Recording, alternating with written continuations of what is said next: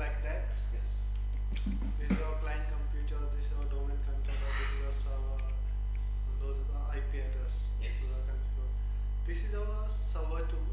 which are configured as a router.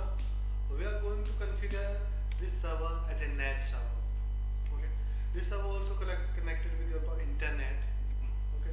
So we connect this server with our external network. Okay. Then we configure the NAT service on this server.